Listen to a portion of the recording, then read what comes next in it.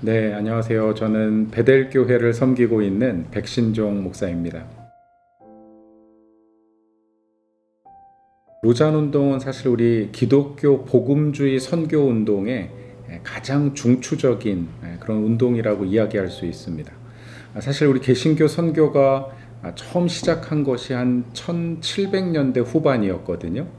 윌리엄 캐리를 통해서 또 London Mission Society가 이제 제정이 되고 그간에 많은 선교사들이 선교 현장에서 사역을 하다가 1910년도에 영국의 에딘버러라고 하는 도시에서 처음으로 기독교 선교사들과 각국의 기독교 지도자들이 모여서 선교 대회를 열었습니다. 사실 그 1910년 에딘버러 선교 대회에 어떤 명맥을 이어가는 운동들이 여러 가지가 있었어요. 그래서 뭐 International Missionary Fellowship이라고 하는 movement도 있고 또 World Council of Churches 우리가 WCC라고 이야기하는 교회 세계 교회 협의회 이런 것들도 그런 선교 운동의 어떤 명맥을 이어가다가 아, 사실은 이제 이런 세계 교회 또 신학적인 움직임들이 아, 조금 이렇게 변화되기 시작합니다. 우리가 이제 복음주의 쪽에서는 또 변질이라고 이야기도 하는데 정말 복음 전도와 영혼 구원보다는 어떤 사회적인 어떤 혁명, 변혁, 변혁 혹은 인간화, 인간의 어떤 행복을 추구하는 것이 마치 하나님의 선교인 것처럼 이렇게 신학적인 변화가 생기면서 1974년도에 우리 복음주의 지도자인 빌리 그레함 목사님과 또 잔 스토트라고 하는 영국의 신학자와 또 미국의 칼 헨리 또 독일에 있는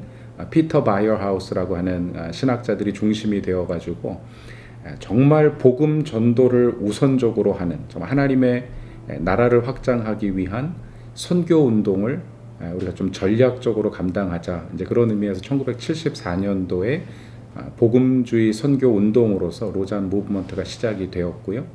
이 로잔 대회는 사실 매년 열리는 것은 아니고 한 15년에서 20년마다 한 번씩 개최가 되었습니다. 그래서 1차 대회가 1974년도에 스위스 로잔에서 개, 개최가 되면서 로잔 운동이라는 이름이 붙게 되었고요. 1989년도에 필리핀의 마닐라에서 2차 아, 로잔 대회가 열렸습니다. 그리고 21년 뒤에 2010년도에 케이프타운 어, 사우스 아프리카에서 남아프리카에서 3차 대회가 열리고 이제 14년 만에 내년에 한국에서 4차 대회를 개최하게 되었습니다. 로잔 운동이 기독교 복음주의 선교 운동의 굉장히 중요한 전략과 방향을 제시해 왔습니다. 1974년도에 로잔 어, 대회를 통해 가지고 처음으로 미전도 종족 입양이라고 하는 개념이 소개가 되었어요. 그래서 사실 모든 선교 단체가 어, 이제까지는 나라 중심으로 선교사를 파송하고 세계 선교를 이해하다가 종족 중심으로 복음 전도의 대상자들을 생각하기 시작하니까 이거는 뭐 전혀 새로운 어, 선교 전략을 펼 수밖에 없는 아, 그런 도전에 직면하면서 어떤 효과적인 어, 선교를 감당할 수 있게 되었습니다.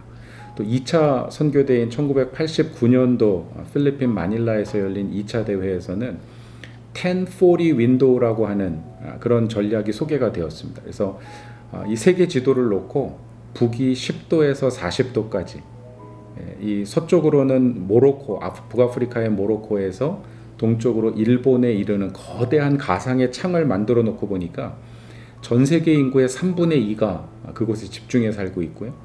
세계 4대 종교의 발상지가 다 그곳에 있고 예, 가장 복음화가 덜된 예, 민족 종족 집단들이 그 안에 집중해 살고 있는 것을 보면서 아, 이곳에 전략적으로 선교해야 된다라고 하는 개념이 소개되었고요.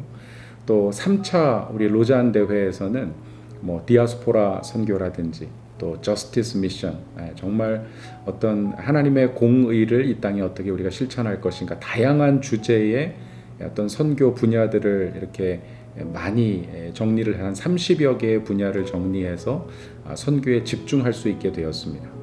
아, 그런데 이제 하나 부족한 부분은 아, WCC나 WEA 아, 교회들이 연합이 되는 교단 연합이나 교회 연합 단체들이 아, 이 복음주의 선교 운동과는 약간 결별하면서 교회 중심이 아닌 선교 단체 중심의 복음주의 선교 운동이 돼버린 거예요. 그러니까 교회가 약간은 소외된 듯한 그런 느낌들이 있어 왔는데 이번에 4차 서울 대회를 준비하면서 두 가지 포커스를 가지고 있습니다. 하나는 우리가 다시 정말 복음의 우선성을 가지고 영혼을 구원하고 어, 복음 전도하는 아, 그 초점을 회복하자 아, 이런 부분에 하나의 포커스가 있고 또 하나는 아, 그 일을 위해서는 교회가 연합하는 것이 좋겠다.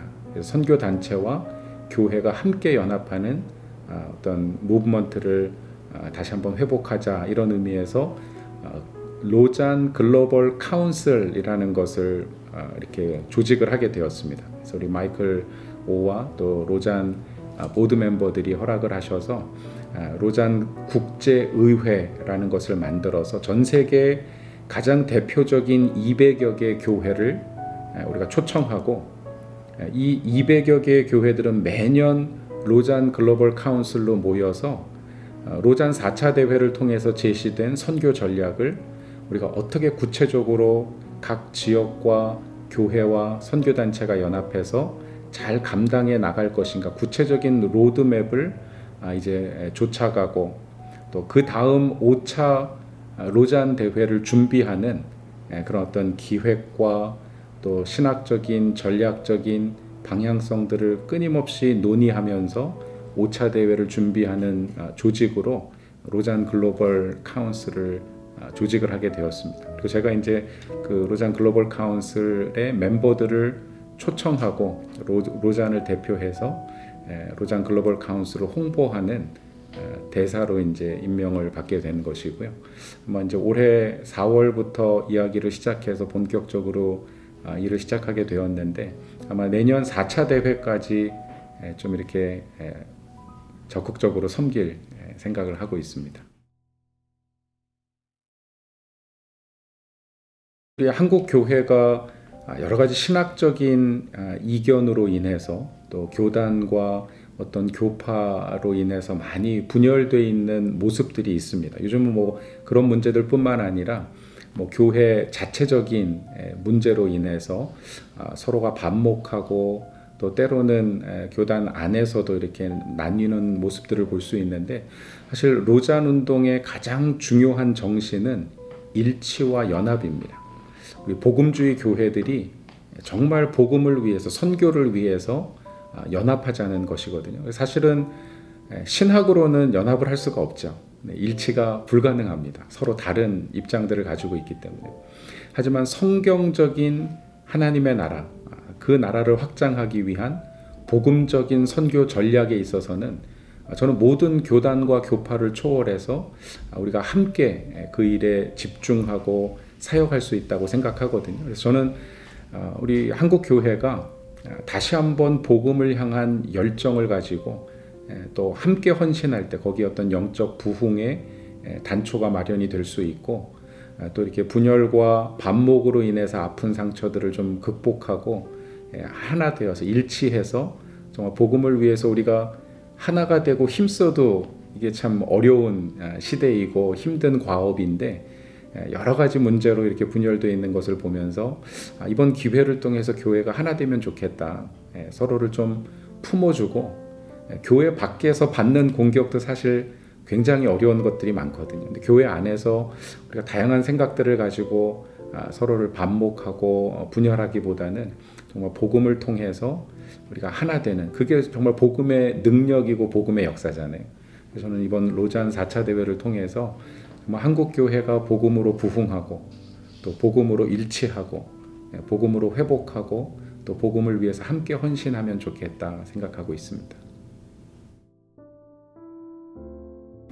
로잔 대회 1, 2, 3차 대회를 지나면서 선교 전략을 아, 기독교 선교 단체와 복음주의 예, 어떤 교회에 소개한 것뿐만 아니라 로잔의 중요한 기여가 이 로잔에서 출간된 문건들입니다. 아, 사실 이 로잔 1차 아, 대회를 마치고 나서 출간된 자료가 로잔 Covenant라고 하는 자료거든요. 이 자료는 사실 우리가 무엇을 믿는지에 관한 신조들이 잘 정리가 되어 있어서 많은 신학교와 선교 단체들이 지금까지도 로잔 이 언약을 기초로 해서 아, 또 어떤 신앙의 신조들을 정리하고 확인하고 공유하고 아, 따르는 아, 그런 일들을 하고 있고요. 또 2차 대회 마닐라 대회 이후에도 마닐라 매니페스토라고 하는 문헌이 출간이 되었고 또 3차 대회 이후에도 케이프타운 Commitment라고 하는 그 문헌이 이렇게 출간이 되면서 기독교 신앙과 신조 정말 우리가 어떻게 복음주의 선교 운동을 이끌어갈 것인가에 관한 중요한 문헌들을 많이 출간을 해내고 있습니다. 이 외에도 Occasional Paper라 그래가지고 지금 뭐 한 180개 이상의 major paper와 또 수백여 개의 어떤 선교 전략과 선교 방향에 관련된 그런 연구 페이퍼들이 로잔 웹사이트 상에 다 게재가 되어 있거든요. 그래서 무료로 오픈해서 많은 분들이 그 접속을 할 수 있기 때문에 선교 전략이나 선교를 연구하고 가르치는 분들이 참조하시면 많은 도움이 될 겁니다. 만나에서 만나요.